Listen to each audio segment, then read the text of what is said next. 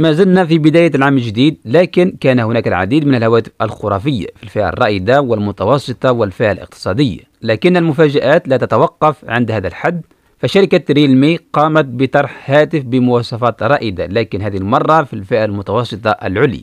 خليك تستنى هذا الهاتف بفارغ الصبر وهو الريلمي جي تي نيو 5 وهذه السلسلة بشكل عام مميزة جدا خصوصا الهاتف السابق الريلمي جي تي نيو 3 كالعادة راح نتعرفوا على المواصفات الكاملة للهاتف وسعرها بالدولار وسعرها بالدينار الجزائري فابقوا معنا.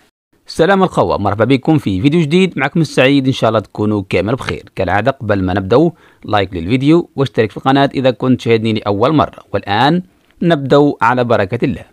أولا التصميم هذه المرة غير فهو مختلف عن تصاميم هواتف ريلمي السابق. فالظهر يتميز بإطار بعرض الهاتف وداخل هذا الإطار في إطار آخر للكاميرات بارز بشكل طفيف. كما تلاحظوا في شريط مستطيل عبارة عن LED يشتغل عند الشحن وإشعارات المكالمات وغيره. من الأمام شاشة منحنية لكن انحناء طفيف تتميز بثقب في المنتصف كما أن مستشعر بصمة مدمج أسفل الشاشة الخامات من الزجاج مع frame من البلاستيك أما الوزن فهو 199 جرام وزن متوسط كما أن أبعادها ممتاز. بشكل عام تصميم مختلف وجديد من شركة ريلمي خصوصا مع لمسة الإضاءة الخلفية.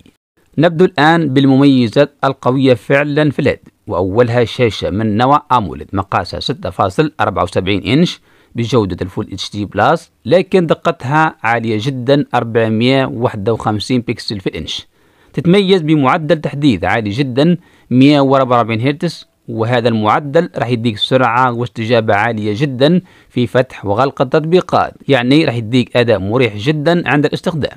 الشاشة راح تديك أيضا متعة مشاهدة حقيقية فهي تدعم ال HDR10 بلس تدعم مليار لون. لذلك راح تستمتع بالألوان المشبعة والدقة العالية. بالإضافة أنك تقدر تستخدم الشاشة تحت ظروف إضاءة قوية فهي تدعم سطوع عالي جدا يصل ل 1400 nits. بشكل عام شاشة قوية جدا وراح تستمتع بهذه الشاشة لأقصى درجة. وبالنسبة لأقوى ميزات الهاتف أيضا هي الأداء فهو مزود بأحد أفضل المعالجات الرائدة وهو سناب دراجون 8 Plus الجيل الأول والمعالج الرسومي أدرينو 730 معالج قوي جدا وراح يقدم لك أداء خرافي في جميع المهام اليومية وبأعلى مستوى من الأداء سواء في الاستخدام العادي أو المكثف. لكن المميز أكثر تجربة الألعاب على هذا الهاتف راح تكون استثنائية بسبب هذا المعالج ومعدل التحديث واللمس العالي للشاشة. لذلك راح يقدم لك الهاتف متعة أداء بمستوى الهواتف الرائدة بدون منافسة أما الخيارات اللي يوفرها الهاتف هي 8 جيجا مع 256 وعندك 12 جيجا مع 256 وعندك أعلى نسخة وهي 16 جيجا من نوع LPDDR5X مع 256 من نوع UFS 3.1 ويعمل بأحدث نظام أندرويد 13 وأحدث واجهة من Realme UI 4.0 من المميزات المهمة والقوية أيضا في الهاتف هي جودة كاميرات خرافية فالعدسة الرئيسية تأتي بدقة 50 ميجا بكسل بفتحة 1.9 تأتي بمستشعر Sony IMX 890 بها مثبت بصري وإلكتروني. الثانية 8 ميجا بكسل للتصوير الواسع والثالثة 2 ميجا بكسل ميكروسكوب هذه الكاميرات تصور فيديو حتى ال 4K بمعدل 30 و60 frame في الثانية. أما العدسة الأمامية فهي 16 ميجا بكسل بفتحة 2.5 تدعم تصوير الفيديو Full HD بمعدل 30 frame في الثانية.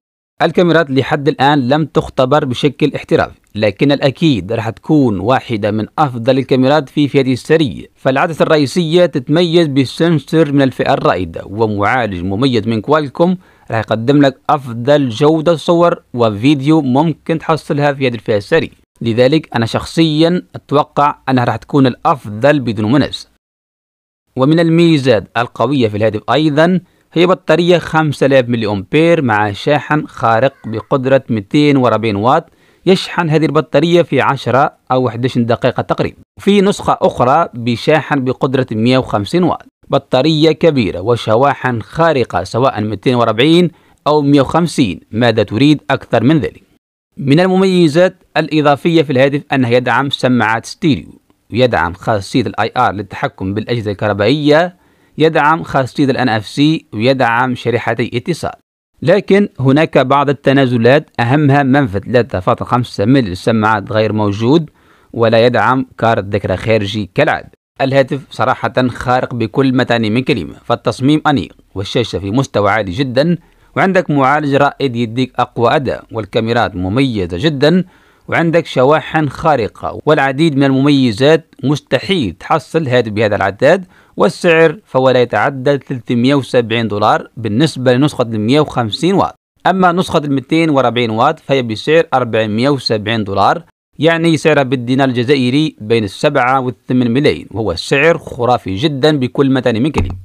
الهاتف حاليا نسخة صينية في انتظار النسخة العالمية وأنا شخصيا أتوقع راح تكون بعتاد أقل من النسخة الصينية. سؤال لكم الخوة وش رأيكم في هذا الهاتف وسعره؟ وهل تتفق معايا أنها الأفضل حاليا في فئته السعرية أم لا؟ أتمنى تكتب لي رأيك في تعليق.